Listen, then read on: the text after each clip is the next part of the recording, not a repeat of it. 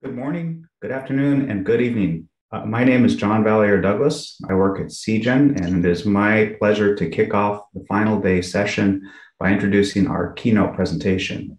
So, during the course of this conference, we've heard talks highlighting the value that mass spectrometry can bring to our collective efforts to make an impact in the lives of patients through biotherapeutic development.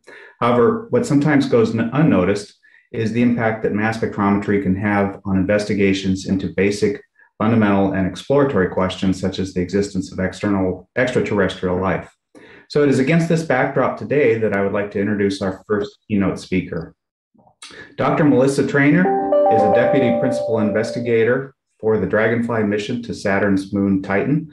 Part of the NASA Planetary Science New Frontiers program, Dr. Trainer is also the lead for the Dragonfly mass spectrometer D, uh, and it, it, MS, DRA MS, an instrument supporting the Dragonfly investigation of Titan's surface composition and characterization of potential prebiotic chemistry. Dr. Trainer has been a research space scientist in the Planetary Environments Laboratory at NASA Goddard Space Flight Center since 2009. Her research interests include the composition of planetary atmosphere and the production of organic molecules and aerosols via atmospheric synthesis. Dr. Trainer has spent more than a decade characterizing the properties of Titan and early Earth aerosol analogs. Her publications on the topic include chemical, optical, and isotopic characterizations of these analogs produced via electric discharge and photochemical irradiation, with recent emphasis on elemental composition, nitrogen activation, and the influence of trace species such as benzene. Dr. Trainer is a science team member on the sample analysis at Mars experiment aboard the Mars Science Laboratory Mission's Curiosity rover with a focus on compositional measurements of the Mars atmosphere. She has led the campaign to conduct the first in situ multi year study of the seasonal variations of the composition of the Mars atmosphere through surface chemistry and mass spectrometry me- measurements. She also worked with the, um, the sample analysis Mars uh, team to make the first measurements of the full suite of xenon isotopes in Mars atmosphere, as well as an inventory of other noble gases. So the, please welcome me in, uh, in greeting Dr. Trainer today. And the title of her talk is Extraterrestrial Mass Spectrometry, Searching for Habitable Environments in the Solar System. Take it away, Dr. Trainer. Thank you. Thank you so much for that uh, introduction. It's actually a really good overview of some of the topics I'll be talking about today. And I just want to say I'm, I'm really delighted uh, to be here today, um, as was mentioned in the intro, to kind of give you an idea of the flavor of, of some of the other amazing things that we can do with mass spectrometers, you know, throughout the whole solar system. Um, so I wanted to first just step back and, and, and talk about, you know, what what connections can we make between the investigations that we're doing and um, you know sort of some of these big big questions right? So when we're when we're talking about exploring uh, outside of earth um, we're really led by some of the biggest questions that that mankind and womankind and peoplekind have had since the, the dawn of time right? Um, are we alone? When we look up in the night sky you know is is there any other life out there? Are there any other intelligent beings? Are there even any other microbes out there? Um, and these are some of the biggest questions that drive exploration uh, at nasa. And when we are focused on um, planetary science and looking in our own solar system some of the questions that we ask are well what processes led to the development of life on earth?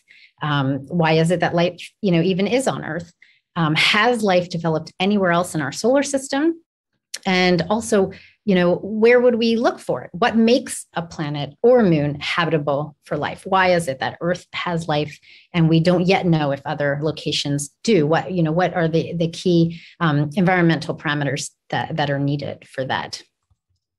So you know this is an image of the nasa current planetary fleet um, and a major way that we try to answer some of these questions is sending robotic explorers all over the solar system uh, to investigate different planetary environments or, or different planetary bodies uh, to try to get a, a, better understanding. They're not all, you know, searching for life or searching for habitable environments, but they are um, helping us better understand just the entire environment of the solar system, the history of the solar system, how the different planets or uh, moons or um, small bodies came to be the way they are, and how they could influence uh, both, you know, how life how life on Earth came to be, as well as how it might arise in other planets.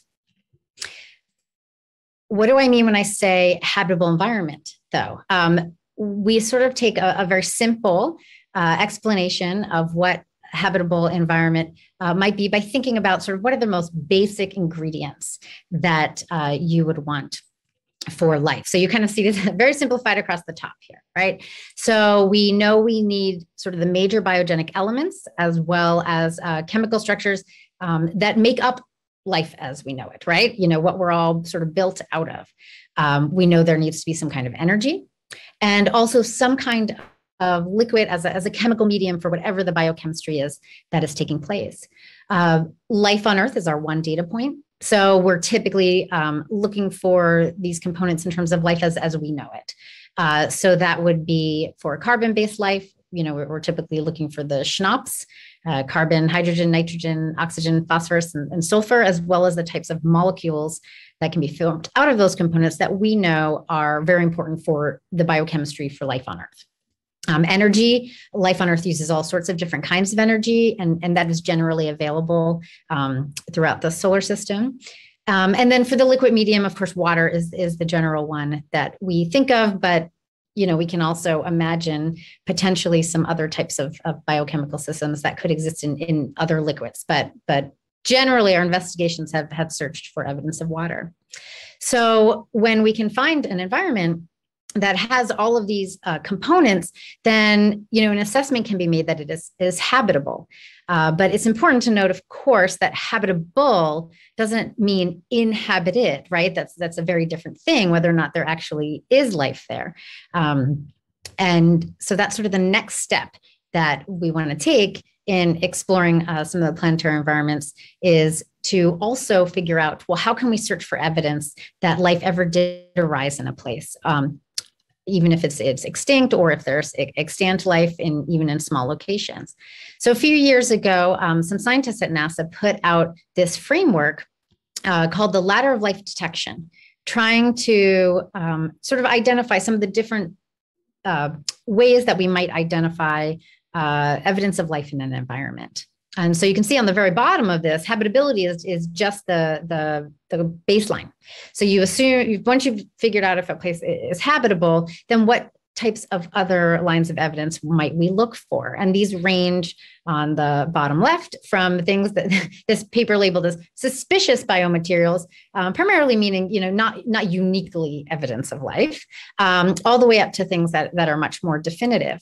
And the main reason I wanted to put this up for this group was to point out you can see while um, some of these are a little bit more um, uh, contextual information or, or, macro information. A lot of the lines of evidence that are pointed out are um, molecular, right? So, different types of molecules, different types of structures that we would expect to find in molecules or characteristics, um, such as chirality. So, there's really a lot here that can be addressed with mass spectrometric um, investigations. Um, and that's one reason that mass spectrometry has been very widely used, not just in the search for life um, or the search for habitable environments, but just in general in helping us characterize the components that everything in the solar system is made out of. You know, it really provides really good, broad, uh, versatile, but also you know comprehensive approach to helping us understand sort of what is present in the environment.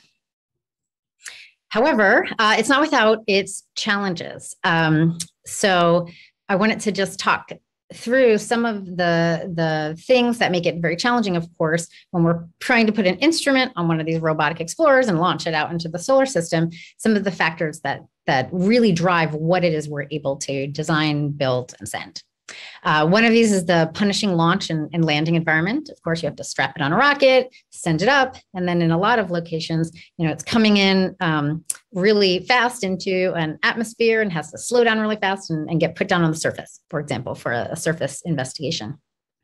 We also can see very extreme temperatures, uh, and not just a single temperature, but of course, a big variation. You might go between being extremely hot and extremely cold um, in the course of a mission.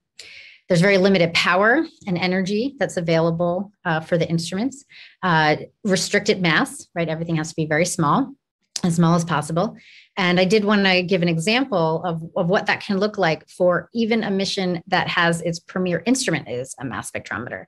So if you look at the graphic on the right, this is the Mars Science Lab Curiosity rover um, that has been on Mars for some time, and I'll talk a little more about that. The total pie is the mass of, of the rover itself. So this doesn't even factor in all the other things that also launched with it, but the mass of the rover itself.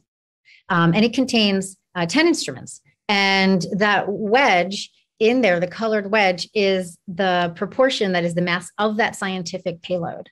And of that, you can see the chunk that's taken up by the, the SAM instrument, which is the mass spectrometer. So even, you know, this is a science investigation and making these measurements is, is, the main reason that we go, but you need so much infrastructure to even support that investigation that the mass of, of the instrumentation on the payload ends up being a, a small component. Um, and that's, and that's true um, for all missions. And so we're constantly worrying about how much mass our instrumentation is.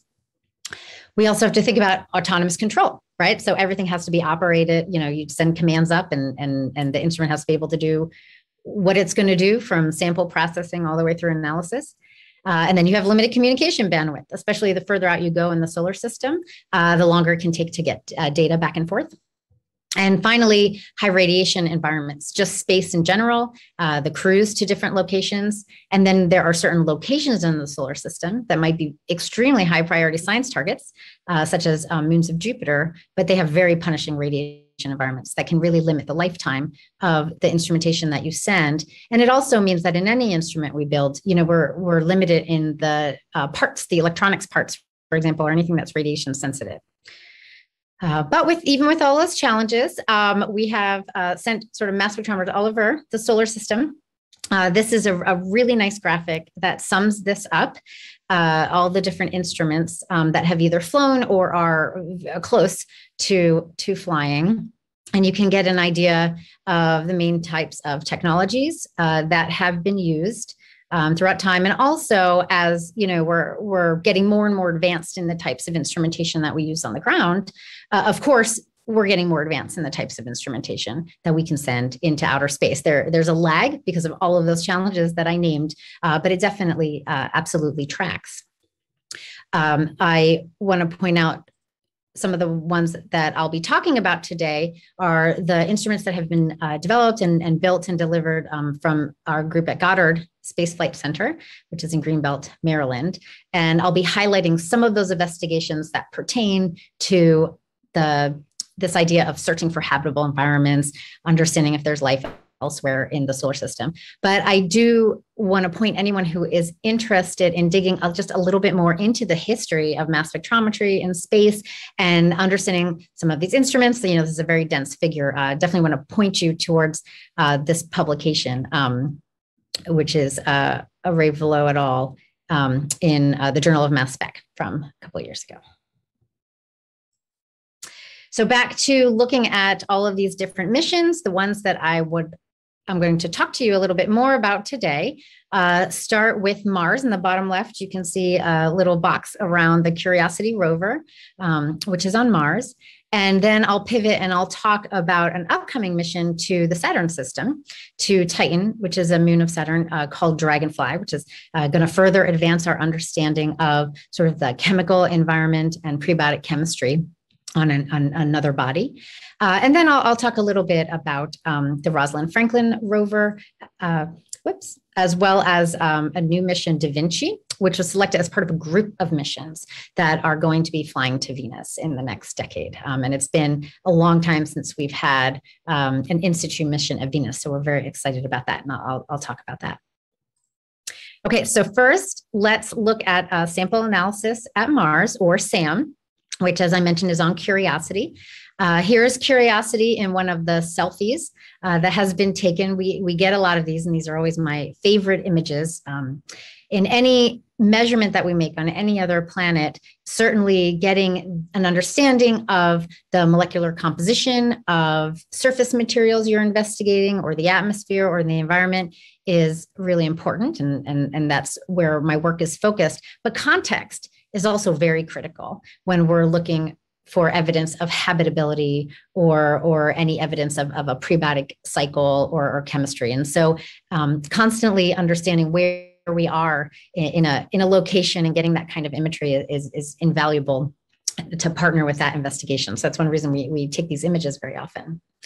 Uh, just some notes about Curiosity uh, landed in August of 2012. And so Curiosity has been on Mars for over 3,000 sols, which are Mars days, which are about 40 minutes longer than an Earth day. Uh, the location is in a spot called Gale Crater, which is just south of the equator on Mars. And since landing on Mars, uh, the rover has driven over 16 uh, miles. Here's some info on Gale Crater Mars, uh, just explain, well, why did we go there and a little bit about what we found. So in the upper left is the artist concept that we had of Gale Crater before landing. And that came from a lot of orbital data on mineralogy at the surface, as well as uh, topography. And the reason this location was so interesting is that there appeared to be evidence of um, past water. So you can see in this cartoon uh, what looked like an alluvial fan, so evidence of a past river and potentially other um, aqueous locations in its past, as well as this mountain in the center, Mount Sharp, had obvious layering of uh, different minerals and rocks. And the uh, thought was at the time, which has since been uh, confirmed since we've been on the ground, is that those layers represent different periods in Mars history going back over 3 billion years. And much like if you went to the Grand Canyon, you can see all those rock layers, and that's like taking a trip through time. We can do the same thing at Mars, and we could understand transitions from the environment over 3 billion years ago, which is when life was emerging on Earth, uh, you know, kind of through what led to the Mars that we see today. Um, and as I mentioned, all of all of these things sort of bore fruit. This turned out to be a fantastic location to explore. The upper right image is an area called Yellowknife Bay at the the base of the crater, the base of the mountain. And this is an ancient lake bed. And you can see the types of rocks that are there and the cracks that are in the rocks. And these are ancient mudstones. And just by drilling into those and taking samples um, and measuring their composition and the mineralogy, we've learned a lot about what that, that lake was like, even though it existed you know, billions of years ago. Uh, we understand that the water was a fairly neutral pH versus uh, something extremely acidic, which has been identified in other locations on Mars. Um, in addition, there is evidence the temperature was very moderate, at least for periods of time.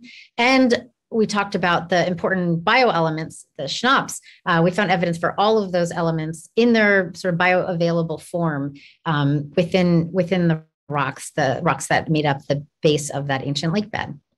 I'll talk a little bit more about some of the other things that we found.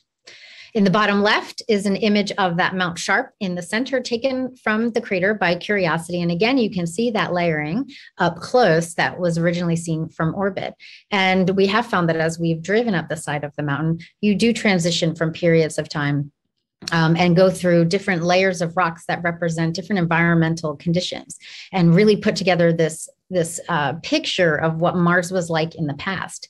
And some of the data that has been taken on the mission was used to make this, this little GIF in the corner, uh, kind of showing what uh, this area Gale Crater was like, again, billions of years ago, versus, you know, what we find now with the rover. And so there was this whole area we believe was filled in with water, and there was a whole sedimentary system uh, at the base. And then over time, as the mountain formed, a lot of those rocks have been shifted up, as you can see, and and that's what we're able now to access as as we're driving up and get information about that past environment.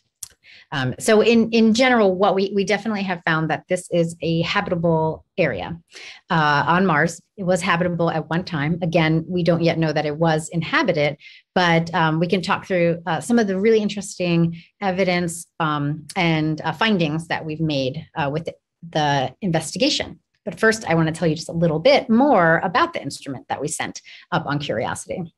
This is the sample analysis at Mars, uh, SAM suite. It is really a, a, full suite of instruments, and you can see some of the components uh, laid out here. And in the upper right, you can see get an idea of how big it is compared to sort of the size of a, like a microwave oven, kind of a big microwave oven, uh, compared to the people who are installing it in the rover. So the SAM suite includes a quadrupole mass spectrometer. Uh, you can see in the bottom left that was uh, built here at Goddard. Uh, but we also had a contribution of a gas chromatograph. Um, you can see that Uh, if you go one image to the right, that was uh, contributed from the University of Paris and our partners at CNES. There's a tunable laser spectrometer that was built at uh, JPL and then integrated here. And the tunable laser spectrometer is actually an excellent complement to the mass spec.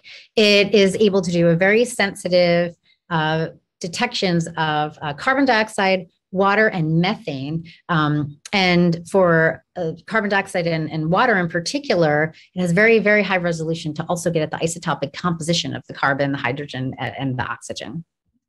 This whole system is supported by a very extensive gas processing system and also a sample manipulation system. So on Curiosity, the rover drills samples and then delivers them to some funnels we have on the top of the instrument. If you look at the photo of the instrument, you can see those little red top hats.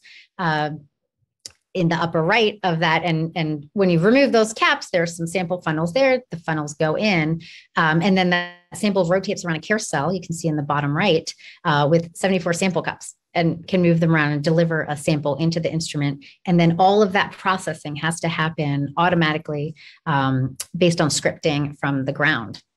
Two other uh, sort of enabling technologies I wanted to point out.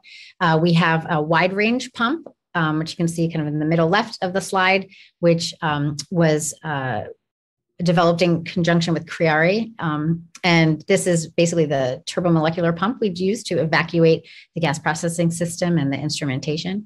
And then we also have these little micro valves, um, which are very small uh, solenoid latching valves that comprise the gas processing system and allow us to control the flow of our analyte around the system. Um, and these are able to be sealed to really um, high leak rates at 10 to the minus 10 leak rate. But again, and again, everything has to be very small and use very low power.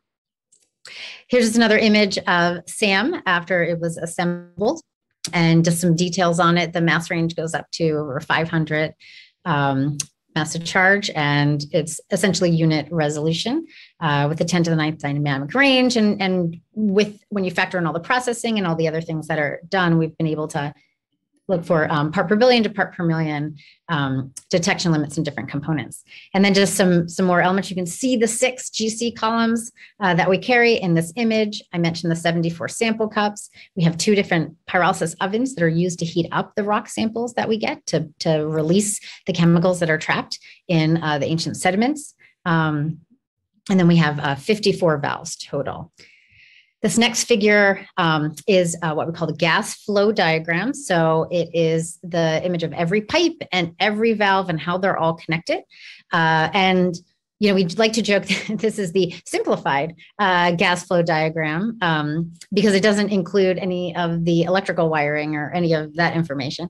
Um, but every time that we want to do an experiment on Mars, we have the software that controls every single thing that is happening in this system, every valve that's opened and when, every heater, what temperature it goes to. Um, and again, that is how we automate how the sample gets moved around the whole instrument in order to to conduct the experiments that we'd like to do to really understand what's inside the rock samples that we have been uh, given. And this is extremely complicated instrument. It's the most complicated instrument uh, that was ever flown to another planet, but it's been um, extremely successful in part because of that complexity, because there's so much uh, flexibility and versatility. When we get new samples, we don't have to keep running the same thing over and over again. You can imagine we can tweak the way that we are processing samples in a lot of different ways because of all of these different potential pathways.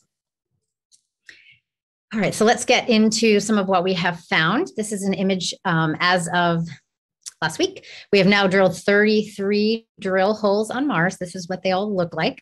One thing that I am always fascinated to see is uh, how they're all very different colors, even though Mars tends to look very monochromatic um, in images, you know, with uh, very reddish dust everywhere. Once you get into the rocks and drill down deeper, you do find a wider range, wide range of different mineralogies um, and therefore different formation environments uh, that these are in. And, and as I mentioned, lots of these are sedimentary rocks that were formed in an aqueous environment.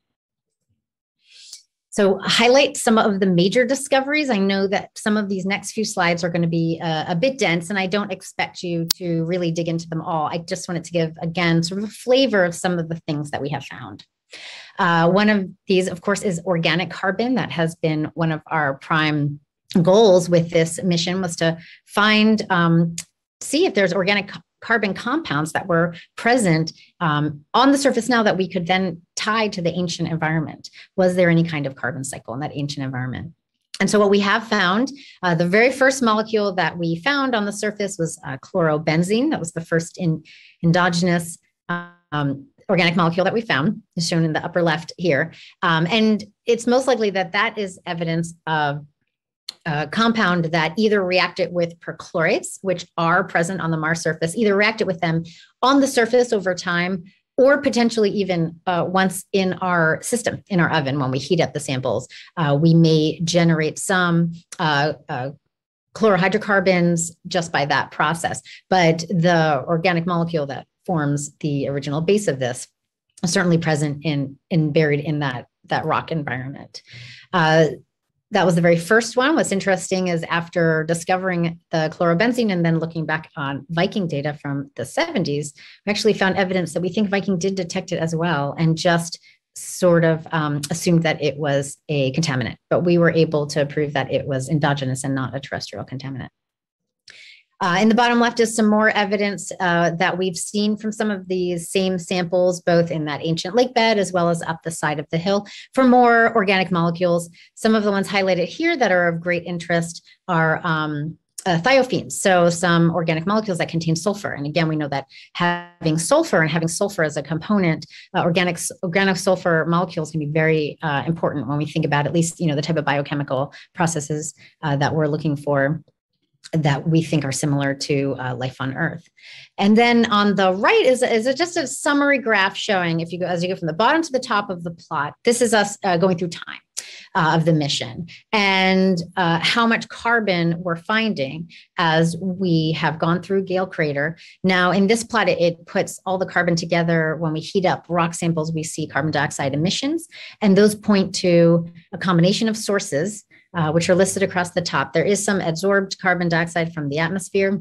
There are definitely carbonate rocks that are on Mars, but uh, a large portion of the CO2 that we're getting out of these samples is actually coming from organic carbon. Um, and and so we can we can kind of see that evidence and see as we go through the environment. Everywhere we're going we're finding uh, organic carbon. And often it's probably some some very very large molecules that we can't necessarily easily liberate from the sample and uniquely identify. But uh, when they undergo um, some oxidation and we've even done some combustion experiments in in the oven you can see you can see that release. So we found organic carbon. That was uh, one of the biggest goals. But another major discovery has actually been um, nitrate in the samples. And again, remember, N is another very, very important nutrient for life on Earth.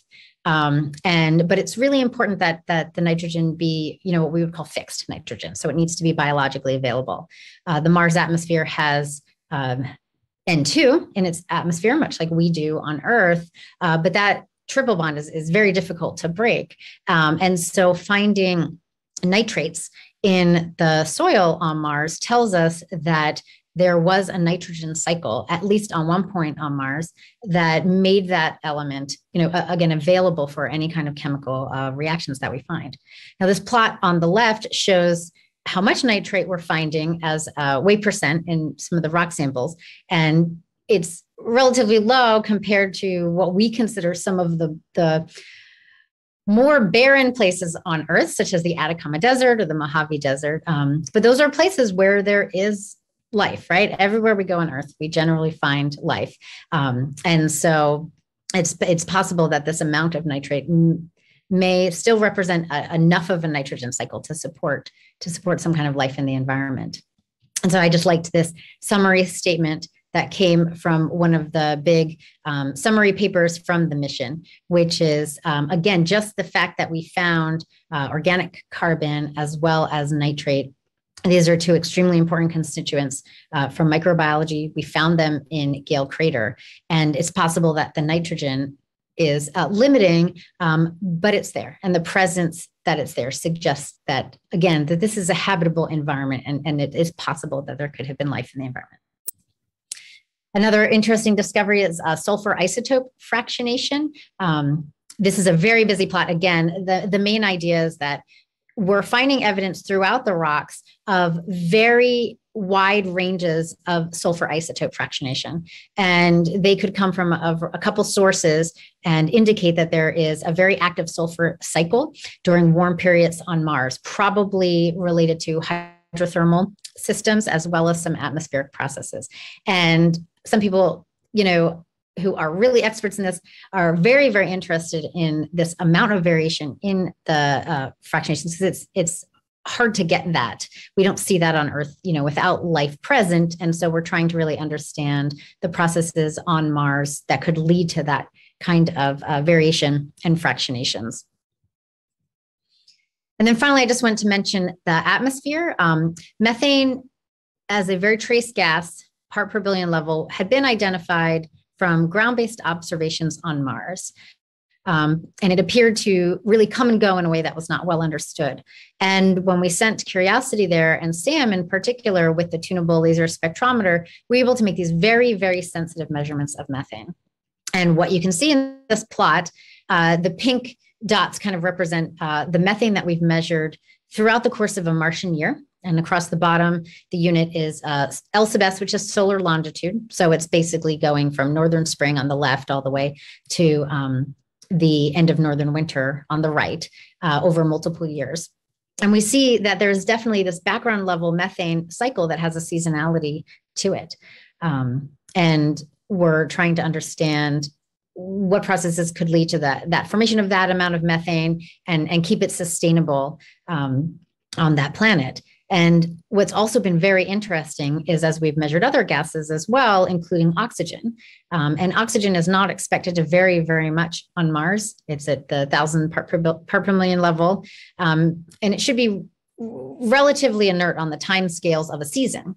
Uh, however, we see huge variations again throughout the year and even from year to year. And it's somewhat intriguing that when you look at this plot of both the blue circled oxygen and the pink uh, boxed methane, you actually see it seems that they they somewhat track each other throughout the year, and that's something we're we don't again totally understand, but we're it's it's a bit puzzling, um, and we're digging into this uh, a little bit more. So I just want to now uh, just say, uh, you know, stay tuned. There's always more news coming from the red planet. uh, Mars, um, investigations of Mars. It's an extremely active area of NASA. Uh, you may be familiar, we've sent another rover from NASA called Perseverance, uh, which looks a lot like Curiosity, but has a very different scientific payload and is in uh, Jezero crater on Mars since February of this past year. And the main job for Perseverance is actually, instead of doing in situ analysis of rock samples, um, to collect rock samples that look like they might have um, signs of the right kinds of minerals or organics uh, for interest to actually bring it back to Earth for um, analysis on the ground. Because I'm sure, again, you can appreciate as I'm going through all these challenges and describing some of these instruments, you know, there's so much more that we can do on the ground when we can analyze a sample with, with you know, all the most state of the art instrumentation that there is to offer. And even more so when we think about what kinds of um, you know capabilities we'll have you know 10 years from now or 15 years from now. People are still analyzing the apollo uh, rocks that came back from the moon. And so that's the main focus of perseverance uh, and then on the right, uh, you see the um, Rosalind Franklin rover, which is part of the ExoMars mission. This is led by ESA, but there is a mass spectrometer on board, um, MOMA, Mars Organic Molecule Analyzer, which is sort of another combo combination suite. It includes GC, but the mass spectrometer itself that you can see in that image was built here at Goddard as well. And this is a linear ion trap mass spectrometer. And that mission is, is seeking to drill about two meter depths. So Curiosity drills about this much. Uh, the idea is that we go much, much deeper below the surface and you get away from areas of the surface where radiation or oxidation can really break apart some of the types of organic molecules we're looking for. And they should be much better preserved at great depths. And so ExoMars is taking this approach to dig a lot deeper and to really look for some of the more complex organic molecules that may be present from the ancient environment. Okay, so with that, now I'm going to talk about Dragonfly, which is the mission to go to Titan, the moon of Saturn. So you can see in this nice background image, uh, there is Titan next to its uh, its uh, planet Saturn. And the Dragonfly mission, um, again, is a NASA mission, a New Frontiers mission um, that's being led by the Johns Hopkins Applied Physics Laboratory. Uh, but here at Goddard Space Flight Center, we're playing a big part of um, the scientific payload for that. So, some background on Titan. Titan is the second largest moon in our solar system. Here is an image of it um, in wavelengths that allow us to peer through this very thick haze that it has in its atmosphere. It's an organic haze. It's formed from the photolysis of about 5% methane and nitrogen in its atmosphere. Um, and until we were able to get there, actually, with the Cassini Huygens mission, we weren't able to see the surface. We were unclear if the surface would be full of ethane seas or or just what it what it was. Um, and we have since learned a tremendous amount about Titan from that mission, which orbited Saturn but flew by Titan more than hundred times. And so this is one of those images, and you can kind of see the glow of that that atmosphere around it. Titan is the only moon in the solar system that has a substantial atmosphere. The surface pressure is actually one and a half times that of Earth. Um, but it's it's very cold. Uh, the surface temperature on Titan is 94 Kelvin, or minus 290 uh, Fahrenheit. And that's, of course, because it's very far out in the solar system. Um, and so between that, that higher pressure and that very cold temperature, you get a very dense atmosphere uh, at the surface. Um, but because of its size, it has a low surface gravity. It's about 14, percent of the gravity of Earth and actually 83% of the gravity uh, of our own moon. Um, one thing that we learned uh, with Cassini is a better understanding of what not just what the surface is, but sort of the, the interior of Titan. And so you can see in this cross section uh, that we've inferred that there is a deep interior ocean of liquid water in between ice layers. And so I like to draw analogies of the interior of Titan to that of Earth, of which most of us are much more familiar. And so you think about um, you know, there is a uh, sort of silicate rock core at Titan, um, but then there will be a liquid layer around it. Whereas on the Earth, that would be liquid rock, right? And we would think of that as the mantle. On Titan, that's it's water. It's some kind of water, maybe with some other components in it, uh, but that is that liquid layer. And then on Earth, you would have a crust uh, on top of that, which is what we all, you know, stand and, and walk around on that that's also made of rock. But on Titan, that would be water ice. And the water ice is so cold that it's actually as hard as rock is on Earth. Um, and then on Earth, you'd have some, you know, soil dirt that we all we all dig in. Um, on Titan, any types of loose material like that, that would be kind of like a soil, would actually be made up of organic material. Uh, that is, as I mentioned, it's sort of synthesized high up in the atmosphere with photochemistry and then deposits on the surface.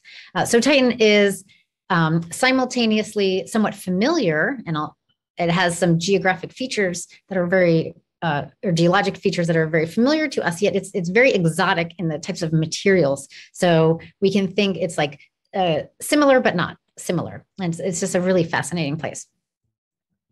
Uh, this is the map of Titan surface um, made by um, composites of a few different wavelengths. Um, and as I mentioned before, we went there with Cassini. We didn't really know what that surface was necessarily going to be like. And, and since going there, we've now discovered it's a very, um, very diverse surface environments uh, with lots of different compositions. The colors that you see here tell you where you have different compositional units. We can't say exactly what those compositional units are, but I can tell you that the brown area is different from the blue area, which is different from the white area. Um, and many of the areas uh, we indicate very high amounts of water ice, where water ice is exposed, and then areas where it appears that it is covered up with the organic material that is that is sourced from the atmosphere. I'll see evidence of things like craters. And then in the North Pole, in the upper left of this image, you see sort of black black patches, and those are actually hydrocarbon seas made primarily of liquid methane and ethane. So when we think about Titan, actually, we go back to one of those very first slides I showed, and, and Titan has key ingredients that we think are necessary for life. It has energy in the form of sunlight, as well as the photochemistry, um, which delivers complex molecules to the surface.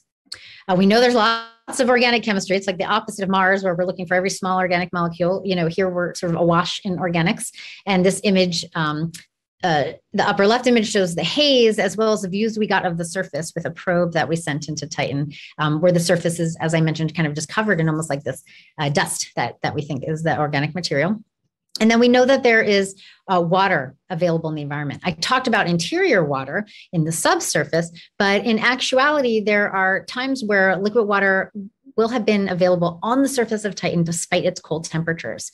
Um, this would come from impacts, high energy inco- impacts that would come in and melt the surface ice for periods of time, as well as potentially cryovolcanism. Just like we have eruptions of liquid, um, you know, magma that comes out and um, forms lava on Earth and takes a while to cool off, you could have eruptions of liquid water or water ammonia mixtures on the surface of Titan that emplaces that material out. And again, takes some time to cool off. And so we're there are areas on Titan where we think there has been transient liquid water environments, uh, and then in contact with all of these organics and, and the energy sources. And those could last for up to 10,000 of years. And then finally, you know, we talked about, well, maybe water isn't the only solvent that's important for different kinds of biochemistries. And we know that we have uh, methane seas with some ethane. Um, and we know there's a very active methane cycle on Titan. We get clouds uh, of methane. There's methane rain. You, you get kind of, again, a cycling through the environment, just like we do the water cycle here on Earth. And so it's a really, really fascinating place to understand what are the limits of habitability of a location in the solar system? What makes a place habitable? And how far you know we know there's this rich organic chemistry taking place.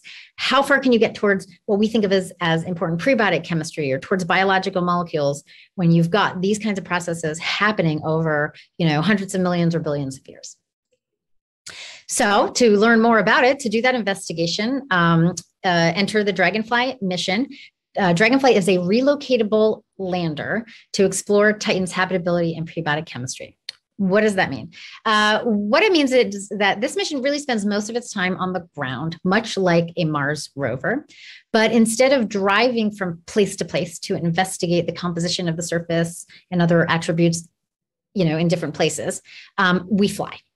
Uh, we fly because Titan has a lower gravity and a very thick atmosphere, which makes it possible to do so. And in using sort of this, this it's a you know a dual quadcopter uh, drone-like flight approach, we're able to cover much larger distances. I mentioned that Curiosity has driven over 60 miles in its time um, on Mars, um, and Dragonfly could do that, you know, in a couple weeks, uh, depending on on how how ambitious we want to be. So uh, the plan is to launch in 2027 and arrive in the mid 2030s to visit dozens of sites uh, uh, as we sort of you know make these long hops on the surface. Um, and it's designed to be powered with um, a nuclear power source, uh, the multi-mission radiothermal isotopic generator, which is the same thing used on Curiosity and Perseverance. Uh, and so that enables us to have a long uh, prime mission of over three years on the surface um, I've sort of hinted at why why we can do this at Titan and not necessarily, um, for example, at at Mars. This uh, not only is it follow a paradigm of a Mars rover exploration, it's about the size of a, a Mars rover, which is the size of a very small car. Um, and again, we can do that because heavier than air mobility is efficient at Titan um, because of the denser atmosphere and the lower gravity. It just doesn't take as much energy to, to lift the, the craft.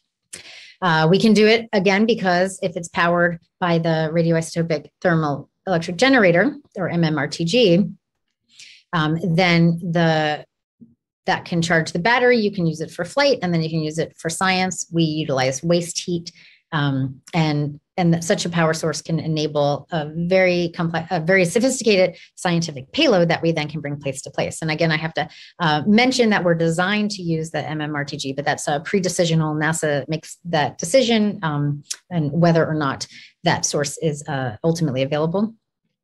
And we're also designed for direct to Earth communication. You can see in the bottom right image our high gain antenna is deployed. So there's no orbiter to go along with it. We communicate directly with Earth when Earth is over the horizon for Titan, which is for eight days every 16 days. So the Titan day is 16 Earth days long. And so we get eight days of um, day on Titan and then eight, eight days of night. And during that time, we're out of uh, communication um, until until Titan comes back around. We can see it again. I'm going to talk a little bit more just about where we're going. uh, the landing site and area of exploration for Dragonfly is an area near a large impact crater. You can see in this image on the right, it's called Selk crater. It's, it's on the order of 70, 80 kilometer diameter, a really large crater where enough energy would have been put in the system for there to be, as I mentioned earlier, a very large melt pool that would have persisted for a very, very long time. And we can see from these images uh, that we do have from flybys of Titan that there is a lot of exposed water ice, which uh, appears to be the impact melt. And so we can access areas where there was liquid water formerly on the surface, where organics would have been raining into it. There would have been some kind of, um, you know, aqueous chemistry going on with those organics that, that in some ways, uh, you know, is similar to the type of chemistry that's been pointed out as potentially important on uh, the early Earth uh, for um, the advancement of uh, prebiotic chemistry and towards the biochemistry. So we're very interested in looking at that location. Uh, we land south of there in an area full of dunes. These are actually dunes made up of, we believe, organic sand material. So uh, most likely originally sourced from the uh, material produced in the atmosphere, deposited on the surface, and then somehow generates uh, a sand that makes these, these long linear dunes. And in between uh, these dunes, you have these white interdune areas as well, where there is some exposed water ice. So we're we're going to this location because in this three-year mission, we're we're able to access all of these fascinating different kinds of materials and these different environments that we think could have been very important uh, in Titan's history. Uh, we're doing so again with a um, uh, advanced scientific payload that focuses on the chemical inventory as well as just the context of the environment to understand the habitability of the environment. Uh, the instruments include the, those that are listed here. I'm going to focus on the mass spectrometer, which we call DRAMS, the Dragonfly Mass Spectrometer, uh, which is fed by a drill known as a DrACO, which is the drill for acquisition of complex organics that's able to drill into that cold, cold cryogenic surface and deliver samples to the mass spectrometer for analysis. We also have a gamma ray neutron spectrometer that can measure the bulk elemental composition around our landing site. It gives us our first look at whether are we sitting on a big block of water ice? Are we sitting on organics? Are we sitting on organics on top of water ice? You know, kind of gives that that first um, uh, reconnaissance of, of the type of material we're on. We also have a full geophysics and meteorological package to measure um, the environment as well as possible seismic activity and a full camera suite because we can't fly on Titan without taking lots and lots of pictures and, and images. And, and it's not just you know for our uh, enjoyment but also of course as i mentioned the context of the environment in which you make these chemical measurements is, is so critical for understanding how the materials even got there in the first place this is just a little bit about DRAMS that's being developed uh, here at Goddard Space Flight Center. Uh, it inherits strongly from SAM and MOMA, uh, which are both Mars instruments. Uh, I talked a lot about SAM and the gas processing system, and then just the whole uh, lineage of um, electronics and processing and how we build mass specs here at Goddard uh, go into DRAMS. Um, but the instrument itself is a um, dual inlet ion trap mass spec, which is most similar to the MOMA mass spectrometer that uh, was developed here at Goddard uh, for MOMA, and we're using it here for DRAMS. It allows us to use two different modes to access the composition of the surface materials that are drilled and delivered. We have a laser desorption mass spec, and we're going to be using on the samples initially to look for the different types of high molecular weight organics that may be there and, and get a first first assessment of the type of composition of the materials in each location. It allows us to compare location to location and really build up uh, an image of how the composition is varying as we're flying around the surface. Uh, we also have uh, gas chromatography mass spec and the gc is um, as in SAM is provided by CNES, and they're uh, excellent partners in this. And that's where we'll really start to do the select more selective analysis uh, using derivatization processes to look for some of the biologically relevant molecules, um, things like amino acids, um, really anything that shows evidence of hydrolysis processes in the past. So any molecules that would have um, oxygenation oxygenated groups on, on them. Um, and in uh, DRAMS, we have the sample carousel has about 60 cups total to de- and that can deliver samples to each of these different inlets. And I, I just put some of the characteristics in the bottom. Um, and I know I need to wrap up soon. Uh, Dragonfly will provide a detailed investigation of carbon on Titan's surface. Here's a flavor of how those different instruments will work together against a somewhat dense uh, slide, but we'll be able to image the samples that we're ingesting with the microscopic imager with the UV fluorescence capability. We're going to look for areas where we even see carbon and oxygen present with the elemental analysis. And then on the right, you can see, um, you know, we'll use the mass spectrometer to really get at the molecular composition with our, our two complementary approaches. And uh, that includes, we do carry one of our GC columns has the uh, ability to separate enantiomer. So we are looking for molecules that might exhibit a chiral preference. So that will be coming soon um, to a uh, NASA press release near you, Dragonfly successfully landing and, and flying around uh, Titan. So uh, again, the slated for launch in 2027. And then the last mission uh, in my last minute uh, that I want to talk about is this new mission to Venus. Um, uh, the US last sent a probe to Venus in 1978. And so it's been a very long time. And it's been a long time coming to go back. We have a lot of questions about Venus, even though it's so close to us and, and so similar to us. In a lot of ways, it's one of the most mysterious planets for us. Um, and one of the biggest questions you wonder, well, Venus, I hear is nasty and hot. What does this have to do with habitability and life? but the answer is Venus wasn't always that way.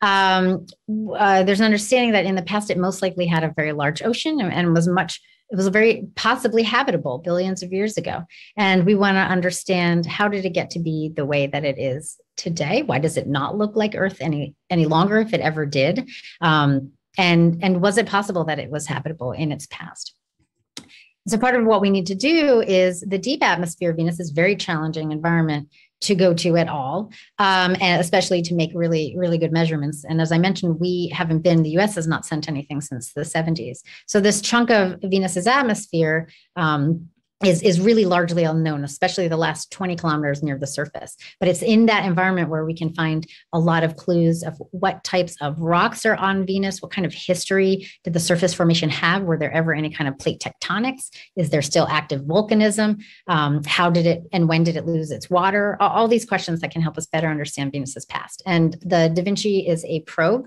that will go into the atmosphere of Venus and it will carry a mass spectrometer, um, a quadrupole very similar to the one that is on the SAM instrument on Curiosity. And we'll be able to measure major chemical species and we're also looking at noble gases. Um, that's even further out. So with that, I'm going to conclude. Um, there are so many people whose work is reflected in this set of slides. I couldn't possibly list them all. So I went the easy way and just listed all the teams um, just incredible scientists, engineers, uh, technicians, and and you know many many people, as you can imagine, hundreds and hundreds and thousands of people involved in each of these successful missions. Um, so MSL, uh, the full Dragonfly team, um, the Da Vinci team, as well as just in general the support of NASA science exploration, um, as well as you know the American people uh, who continue to be captivated and interested in this type of investigation, and giving me the privilege to take a part of uh, exploring our solar system. And this is one of my favorite images, a pale blue dot image taken of Earth from the Saturn system. So thank you right. very much. I take questions. Thank you very much, Dr. Trainer. That was a fantastic and interesting talk. And um, selfishly, I was uh, hoping that people wouldn't ask a lot of questions so I could use this opportunity to ask you all my questions. But um, our audience has a lot of questions. Okay. I'm going to go ahead and just start from the bottom and we'll see how far we get. Okay. Okay. Um, all right. So, starting from the bottom, what aspects of MS performance are most important to develop and advance our ability to interrogate fundamental questions regarding extraterrestrial life? What is on your wish list? um, there's a couple things. Um, and actually, I think we're just putting out a paper. Um, the first author is Chou, C H O U, which is, is going to be a review paper just of how do we use mass spec to kind of advance um, finding evidence of life finding biosignatures. So there's a lot of components. Um, you know, high high resolution, of course, uh, is is one of them, and that's one that has been slowly coming along. Um, just to be able to properly you know, distinguish uh, different molecules, um, really good isotopic uh, separation if we are able to use isotopic measurements to assess uh, the different reservoirs in an environment. You know, that's that's important on Earth because we understand the difference between biological carbon and and um, you know inorganic carbon. And on other planets, uh, that's harder because you need the context of all the isotopes. So um, the ability to do th- those kinds of measurements uh, for sure. Um, really, really low power and uh, you know electronics that um, you know really s- small, light, very radiation tolerant. Because um, to be honest, uh, you know the you can have the most sophisticated instrumentation and sampling system but you have to have the electronics to control it and, and and another big challenge is the more sophisticated our instruments get you know i mentioned high resolution so let's say we want to fly an orbitrap um, but now i have like crazy amounts of data that I have to deal with, and I have to get that data back to Earth. Um, and so I also we're looking a lot into machine learning and and more ways that we can automate automate processes. I have a really big wish list, clearly.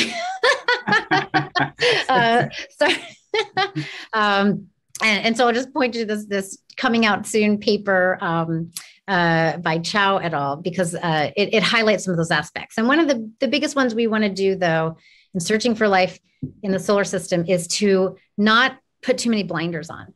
Um, so there's this this really growing field uh, of agnostic biosignatures, which is just really trying to understand um, how can we identify molecular systems that are biochemical if they don't look identical to ours, right? We don't want to limit ourselves to saying, I have to find this set of molecules exactly like this, or it's not life, right? We, we need to keep our um, uh, analytical capabilities um, uh, broad enough and our ability to interpret them um, uh, enough to identify something that could be a biological system, even if we don't immediately recognize it. Uh, and so that's just something really important to keep in mind um, as well when we just think about doing these explorations and how we're going to interpret the data we get back. Awesome. Thank you very much. Um, I want to switch to some of the more um, questions that relate to um, the environments around the extraterrestrial planets and moons that are being explored. And so, one of the questions that's been offered up is um, you mentioned the presence of sulfur, methane, carbon dioxide emissions, both indicative of potential life. As these are present in the deep sea, namely hydrothermal events, et cetera, have you or do you plan to do any collaborative work with deep sea researchers and scientists? Um, so, uh, yes, NASA, as we've been pushing out, especially in the outer solar system, there's this whole collection of uh, worlds um, that we have realized in the past decades are, are habitable in their own right. That includes, I mentioned Titan, um, Europa, Enceladus. These are moons of the giant planets in the outer solar system. But because of their interactions with those giant planets, they have these kinds of tidal energies um, and, and these subsurface oceans. And so this is this new-ish area of, of NASA exploration. We're really focusing on what we call ocean worlds. And there's been a big push in that. And, and people in the planetary community. So not just myself just this is a broad approach are working uh, very collaboratively with oceanographers people who study the earth's ocean to to get a much better understanding of how we can interpret uh, an extraterrestrial ocean. What can we look for in that ocean that will tell us whether or not it is habitable or what kinds of signs of life should we be looking for? Um, in particular, with exploration of, of Europa, which is the Jupiter moon that, that has this uh, relatively large uh, subsurface ocean um, with rock, you know, rock at the bottom, expected hydrothermal activity, but then an ice shell on the outside.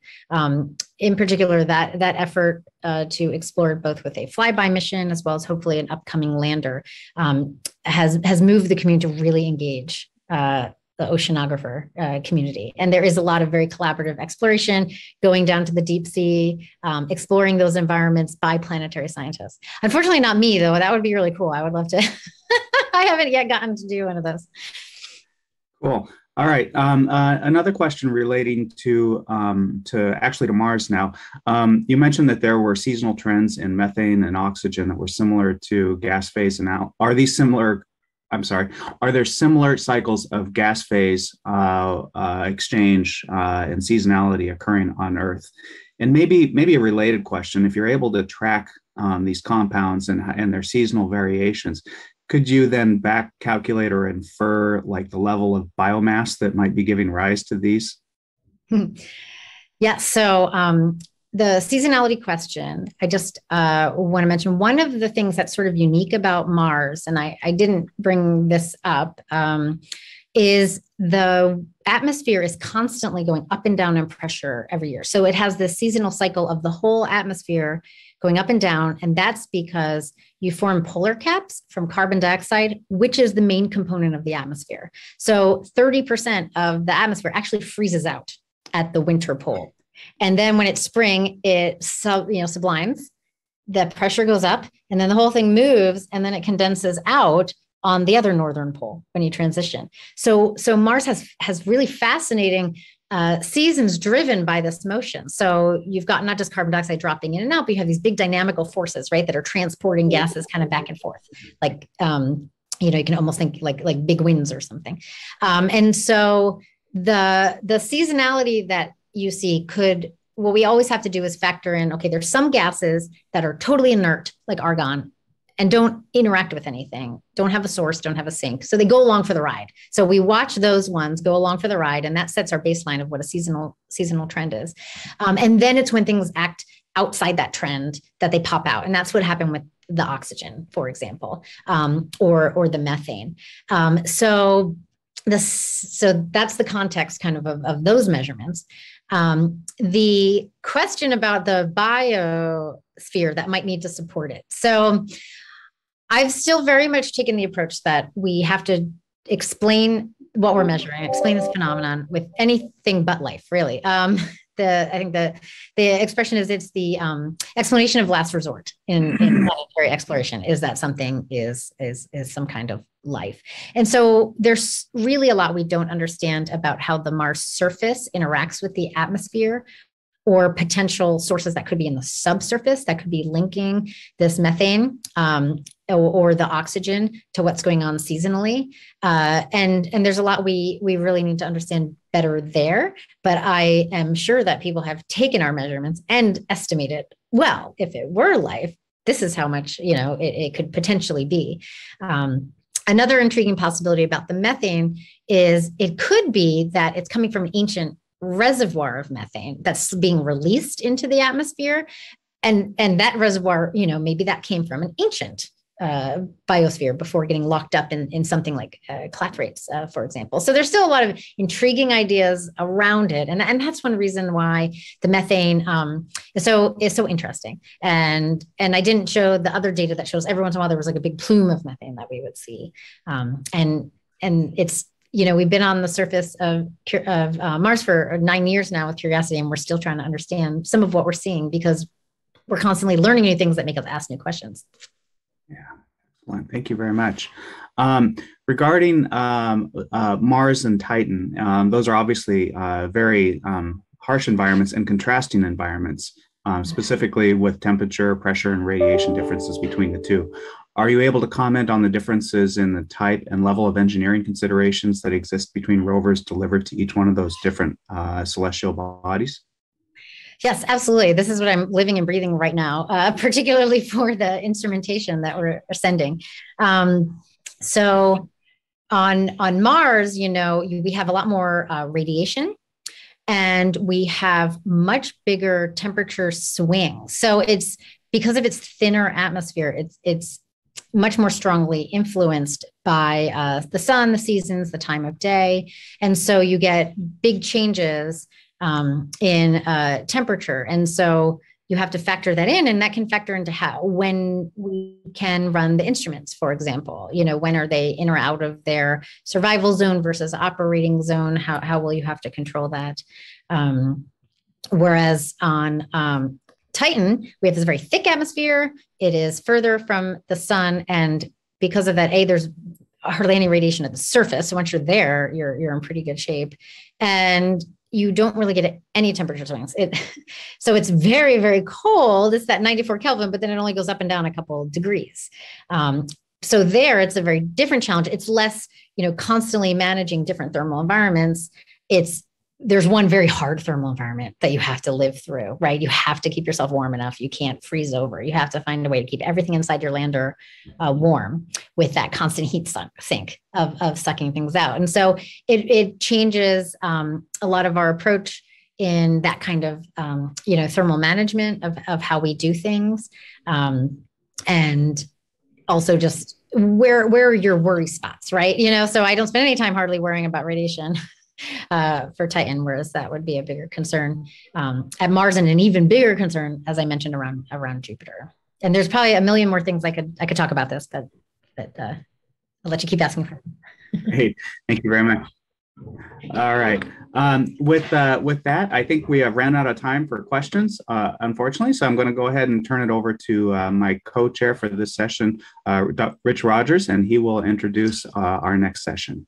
Thank you again, uh, Melissa, for a great talk on a very fascinating topic that um, I think it probably interests us all a great deal.